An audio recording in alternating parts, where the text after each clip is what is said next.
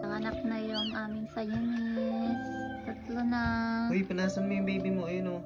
Hindi makahinga. Kasi na nag-umpisa eh. Uy, Uy! anak na. Nanganganak doon o. Gusto mag-ampon. Ayan. Boy. May Siamese. Oh, sa mga gustong bumili. Ayan. Pure Siamese po yan. Pa ba? Inisa mo yung isa mo. And I had control in the driver's seat. But my hands are slipping off the wheel. Now the tables have turned. Now I'm up